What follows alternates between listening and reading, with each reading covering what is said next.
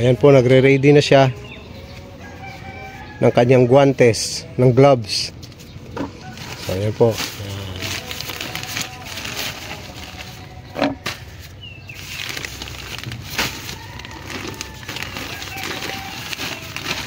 Ano ano?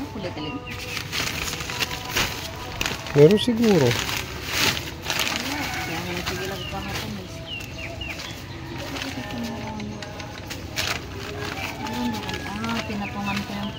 Ay, yung isa pwede pa pala dyan. May isa pa pwedeng gawin ganun ulit. ko yung puwet niya kasi butas ko.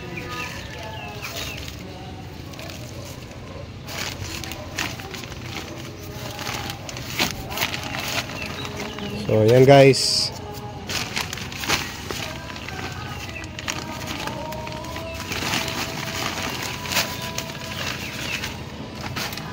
Wala. Kulang pa yan?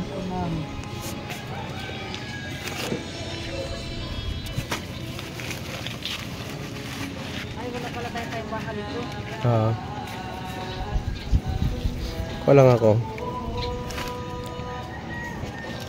Ba- baka magsobra na yung mamix mo ha. Ah, sa bagay, mayroon pa doon sa dulo. Problema? Lagay lang natin sa tabi. Para pag may nakuha, niakyat lang natin.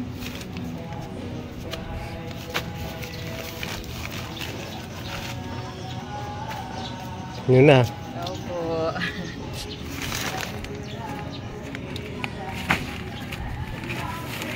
Pag nagtaas-taas yung araw, lampas na yung ano. Okay, sige. Yan guys.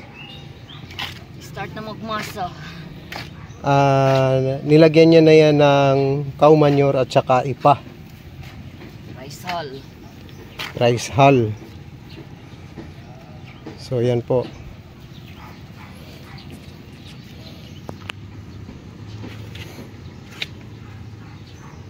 Saan na yung aking sandok-sandok na ganyan?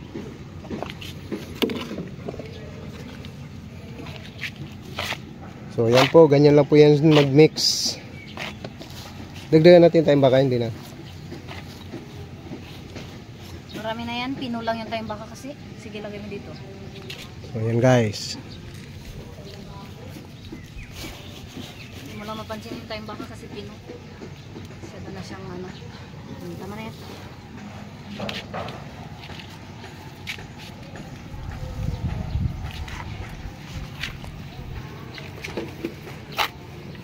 Dalhin kita sa aking Ayan, ganyan lang ho guys. Mag-mix. Ganyan lang ho kami mag-prepare ng aming potting mix. Para sa aming mga litos.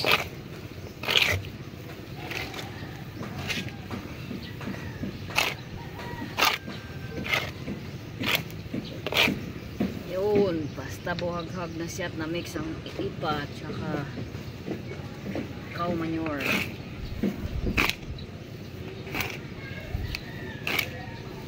Grabe, di ba? Magbunggo dyan yung mga ng ano.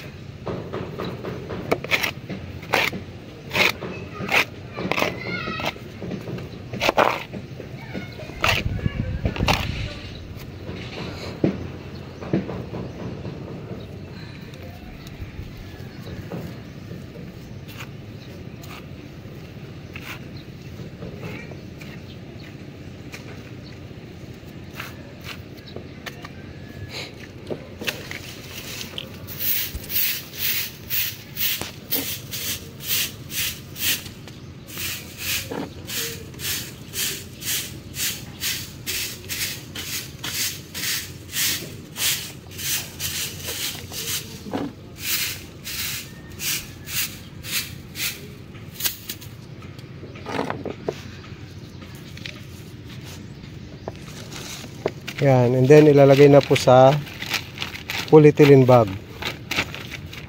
Sa black plastic.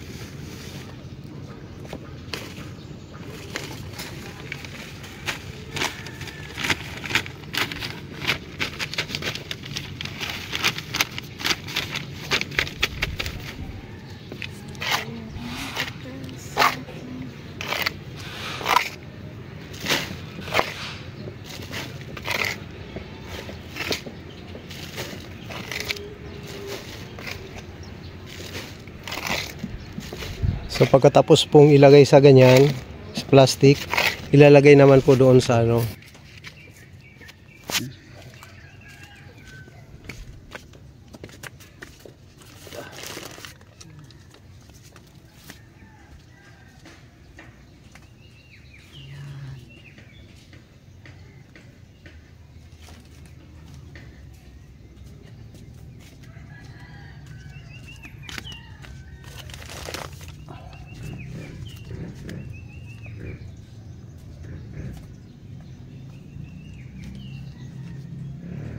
Maliliit. Sige, lagay lang natin dyan. Yeah. Yan, tinanggalan ko isang malaki dyan, i-ano mo rin, alis mo.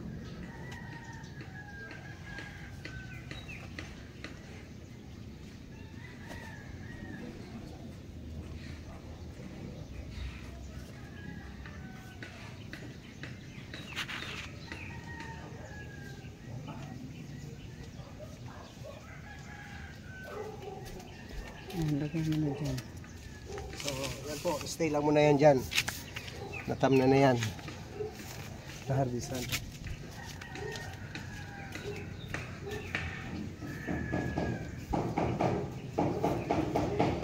Huwag mo ilagay doon yung malaliit na yon. Hindi, mamaya pagka ano natin, lilipat lang natin. Please do na siya. Kasi ito oh, may malalaki pa tayong ilalagay doon.